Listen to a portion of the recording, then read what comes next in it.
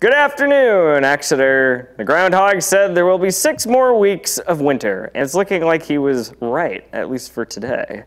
For this week's report, Senator Jeanne Shaheen visited the town's wastewater treatment plant, a preview of tomorrow's town deliberative session at Exeter High School. And the town also, this past week, congratulated Deputy Police Chief Michael Munck on his retirement. I'm your host, Garrett Prey, and this is the Exeter Biweekly Report. Let's get started.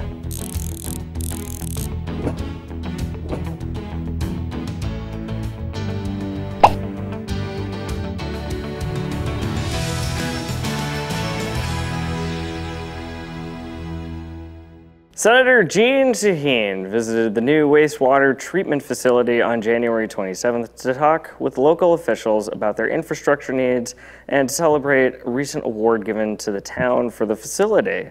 As Matt was saying, this is the oxidation uh, I'm delighted to be here in Exeter to see this award winning new wastewater treatment facility that is so important to Exeter and to water quality in the seacoast and to the Great Bay, to our rivers and water throughout the seacoast region. It's a great example of state, federal, and local communities working together, um, putting to good use those federal dollars. We've got 55 billion, 550 billion in new infrastructure money that's coming to the country as the result of the infrastructure package that passed this year or last year, and we want to make sure those dollars are put to very good use. And this is a, a great example of being able to do that.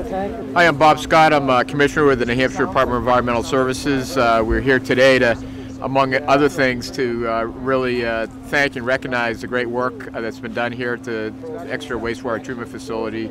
Uh, I really want to commend the, the, the community and everybody here that makes this work. Uh, a lot of effort and planning goes into this, as well as uh, obviously ratepayer money. Uh, but really, uh, one of the messages I wanted to carry today is really is a, the, the, the town has really put themselves in a great position to leverage the, the, the, incoming money. There's a lot of money at the state level that's being programmed for uh, this type of activity, both for drinking water and wastewater, as well as stormwater.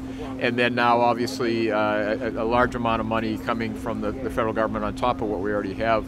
So I, I, I really want to encourage. I know the the town is already taking advantage of that, uh, of that, and there'll be more more projects to come. And uh, I want to commend you all for putting yourself in a position so that that you can leverage all those things uh, and uh, and really be uh, ahead of the curve and uh, on protecting public health and the environment. So I want to thank you all for that also. It's been a really nice day to get to showcase this incredible facility.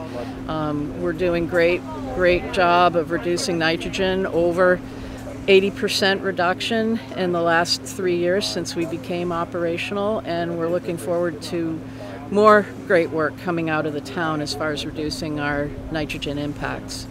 It's town meeting season in New Hampshire, and Exeter is holding an annual deliberative session tomorrow, Saturday, February 3rd, at the Exeter High School.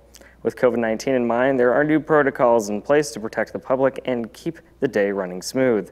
Bob Glowacki has more. For the 2022 deliberative session at Exeter High School, there are three separate areas for voters. Masked voters are welcome to enter through the main entrance and proceed to the auditorium. Unmasked voters are requested to go to the side entrance and proceed to the small gymnasium. Voters can also remain outside in their vehicles in the left parking lot. Those wishing to remain outside must first enter either through the main mast entrance or the unmasked side entrance to check in and get your voter cards. The three locations will be able to be seen and heard by the other locations via a video conference software. This year, there are 35 articles on the ballot. To learn more about the articles, head to exeternh.gov/elections. The town manager has prepared a fact sheet with detailed information about all of the warrant articles. The Exeter Police Department celebrated the career of Deputy Police Chief Michael Munck and his retirement ceremony last Friday. Here's a recap of the event. Friday, January 28th, was the official retirement of Deputy Police Chief Michael Munck. Town staff and Exeter police officers gathered to celebrate his 26 year career of service to the town. All right, how's everybody doing? Thank you all for coming. Uh, welcome, friends and family, to celebrate Deputy Chief Michael Munck's career. keep with you and uh, post that in the most important room in your house to remember. All right. Thanks, Jim.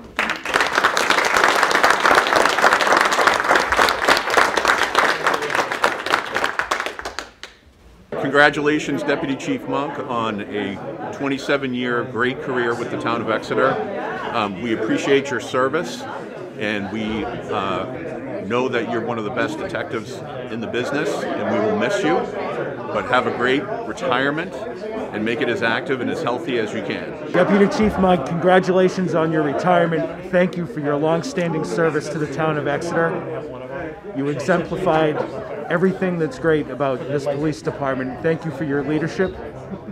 We wish you all the best in your retirement, the best of happiness, health, and success. We'll miss you. No, no, no. Good luck. Thank you. That does it for this week's report. Thank you for watching, and be sure to like, share, and subscribe to help us spread the word. We'll be back on February 18th with more local news and information.